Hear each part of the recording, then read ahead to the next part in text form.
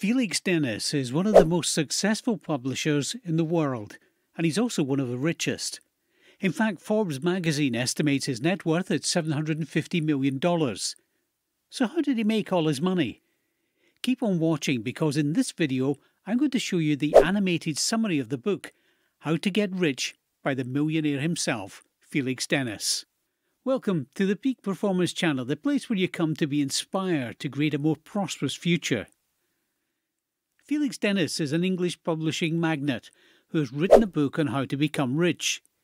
He excels at proving people wrong.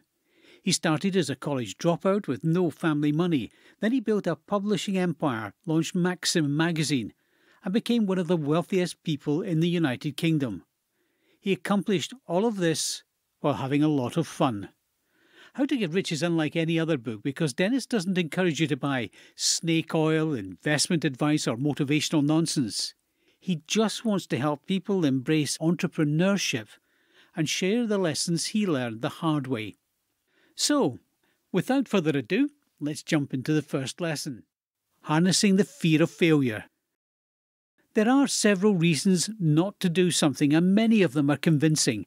Everywhere you go, there are people who appear to take strange joy in pointing out the obvious that if a business startup doesn't succeed, it's a failure. Making decisions quickly, whether they are right or wrong, is better than taking a long time to debate everything. This is also true when you're debating with yourself. Worrying doesn't help anything, and neither does not doing anything. You need to know the fear of failure is stopping you from doing something, but that's not enough because knowing is not doing. You need to have a strong mental armour. This will help you not get too upset when people criticise you or give you advice, especially if it's from someone you trust. You also need to be careful not to let the envy of others stop you from achieving your goals. People who want to get rich need to be willing to fail publicly and even catastrophically. If they cannot treat their quest as a game, they'll never be rich. Lesson number two the search what field to go into. Working for other people can make you not want to take risks. This is because you're used to getting a regular paycheck. But this can hold you back from becoming a financial winner. To be a financial winner, you need to be able to embrace risk. New or rapidly developing industries, whether glamorous or not, often provide more opportunities to get rich than established sectors. This is because there's more risk capital available, People are less knowledgeable about the industry and the tide is rising. In other words, the industry is growing.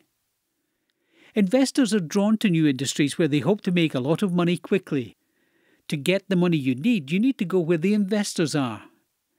By the time our biggest rivals were comfortable enough to launch against us, we'd already gotten too far ahead for them to catch up. New investors, ignorance, and a rising tide helped us succeed. Opportunities to get rich are all around us. The more you look for them, the more chance you have of finding them. The more prepared you are, the better your chances of success will be. The more daring you are, the greater your chances of getting in on the ground floor and achieving success.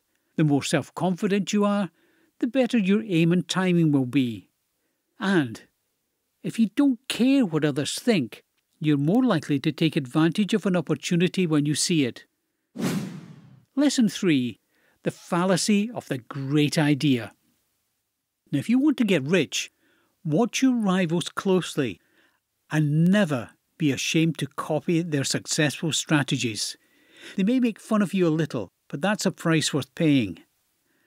The problem with a great idea is that it can make you think too much about the idea itself.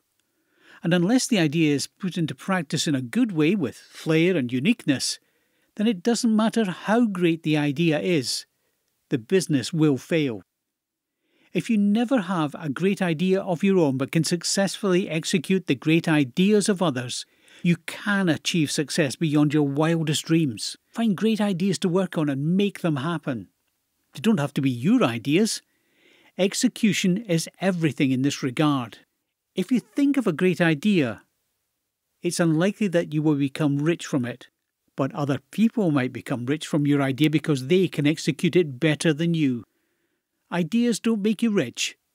Rich people are those who can take their ideas and turn them into something real. Here's a quick reminder before we continue make sure you smash that like button and hit the subscribe and notification button if you haven't already done so.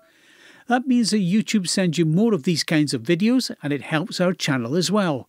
Now, let's get back to the video. Lesson 4 Obtaining Capital. There are a lot of different types of people who can help you get money for your business. There are venture capitalists, major investors, and bankers. But if it's possible, Give me the fish over the sharks and dolphins every time.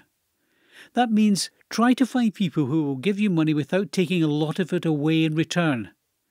It may take longer to find them, but you'll be far richer, or at the very least, happier in the long run. Lesson 5 The most common startup errors. There are some things you can do to improve cash flow in the early days of your business limit the payroll to an absolute minimum. Don't agree to long term rent agreement and don't take upmarket office space. Never buy a business meal if the other side offers to. You should only pay yourself enough to afford food. Issuing company credit cards, cell phones, or cars to employees can lead to problems. Talk to different suppliers and see who'll give you the best deal. They want your business, so be ruthless in your negotiations. Only enter into a factoring deal if there's no other option. If you can, get out of the deal as quickly as possible. Lesson number six Cardinal Virtues. Stubbornness is not the same as persistence. Stubbornness means that you keep going even when it's clear that you shouldn't. A stubborn person is afraid to be shown the wrong, a persistent person is convinced they've been right all along and that proof lies just around the corner. With a little more effort, they'll find success. It's not dishonourable to quit, it's only dishonourable if you give up when you still have a chance to succeed. Without self belief, nothing can be accomplished. With it, nothing is impossible. Doubt is a warning system and plays its part in reaching decisions. Lesson 7 A few words about luck.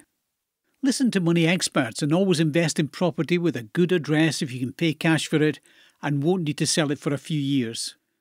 Luck is what happens when you're ready for an opportunity. You have to be prepared and then take advantage of the opportunity when it comes. You also have to be aggressive and go after what you want in order to become rich. While luck may sometimes play a role in someone's ability to get ahead, it's ultimately the ability to identify opportunities and work hard to seize them that separates the successful from the unsuccessful.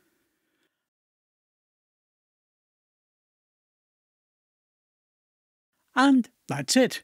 I hope you learned a lot from this video and are now looking for ways to make your business more successful. Thank you for being all ears throughout the entire video. To create is effort, to copy is genius, Albert Einstein. And if you want to expand your income by building an online income, feel free to contact me so we'll get things moving right away.